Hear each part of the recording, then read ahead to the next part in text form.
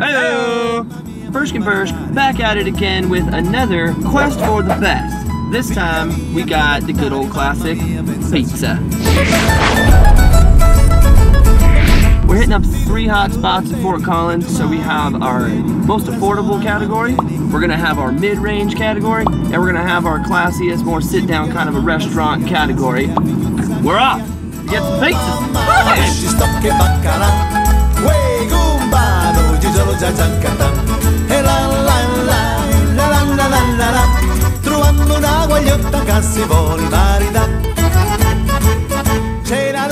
pizzas. So this is gonna be the first stop. The cheapest option that we have. We went for buy the slice. Probably the cheapest place you can get a slice that's like the size of your face. Three dollars and twenty-five cents for a single slice. That's yeah, ginormous. And uh, we just went with you know little pepperoni. One of the crucial things of this place, spicy ranch.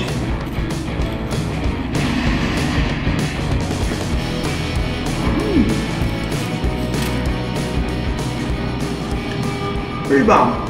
Just like a basil leaf or something right here. They got a nice like flavor in there. Pretty thin crust, but not overly crispy. The uh, appearance reflects the price, which is great. It's fine. There's nothing wrong with it. It's the perfect thing you want to eat when you're either drunk or hungover.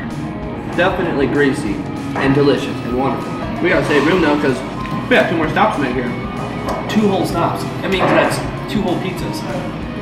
To these faces. So we just finished up at Cosmos, stop number one, and uh, definitely pretty legit. I'd say most definitely worth the three dollars and twenty-five cents. Definitely bomb. That spicy ranch. Ah, that's the way to go. Makes That- it. That's everything right Sure. there. So we're off to uh, stop number two, which is Krazy Karl. Scenderona mezzo mare, mamma mia, mamma ridare. Figlia mia, cosa mamma mia, pensaccia tu.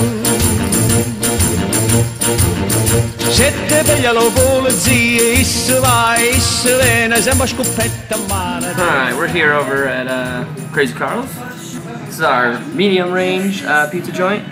We got a jalapeno popper pizza here. This thing's got pepperoni, jalapenos, uh, bacon, and cream cheese. That's right, cream cheese.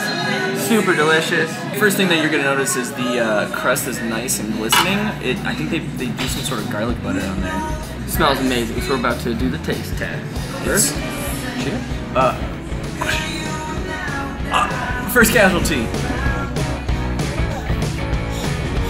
Okay, Man, there's just so much more substance. It's not so thin. The cream cheese, it's like all like toasted on the outside, so it's like kind of crispy, and then you bite in and it's all ooey and gooey. And And you have the crunchiness of the bacon.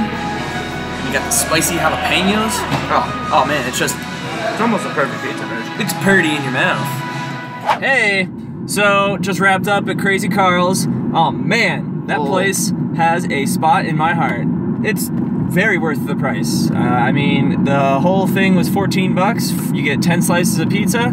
It's it's it's good. It's dank and delicious. It's everything you could ask for. Dank pizza, dank price, definitely a good mid grade. We got one more stop to make. We're going to the biggest, baddest of them all. This is supposedly the best pizza in Colorado. Beau Jo's Pizza. Let's bring it on. Se te piglia lo polizia, isso vai, isso viene, sembra scoppetta malatena.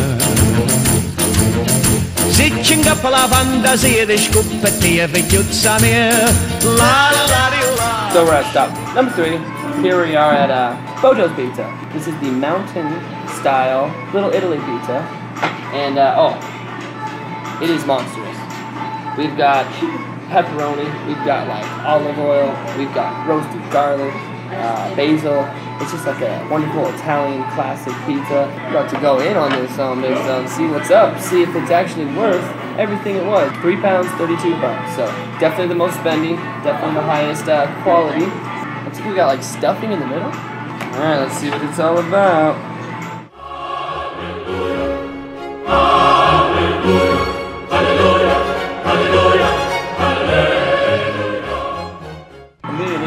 Crust is way better. Higher quality for sure. It's like really, really good dough. Like mushrooms on the inside, crispy and flaky, but stuffed.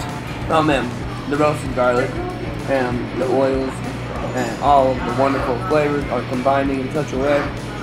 This is a legit pizza. Right, cheers, cheers. Cheers to bomb pizza all day. We just got done at spot number three, Beau Jo's Pizza. Definitely bomb. The the Little Italy is the one we got. There were so many options. It was kind of hard to choose actually because they had some really really good ones. But um, I don't know, Bersh. What do you say? Overall, was it worth the thirty-two dollars for that monster of a za? I mean, in my personal preference, um, it was good. It was dank. It was delicious. However, I would say Krazy Karl's is probably going to be the most worth it price wise and taste. Krazy Karl's in my book took took the cake there. At this point, we're just so full of pizza. I'm about to explode pepperonis every which direction. But um, Mainly on my belly button. right, right, right, right out of the belly button, just. Really good pizza. About to fall into a, a pizza coma, essentially. So thank you for watching. I hope you go and try out these pizza places yourself. Let us know what you guys think of the video. Like and subscribe if you dig it. We do one every single Monday. So holla at your boys if you fucks with us. Man.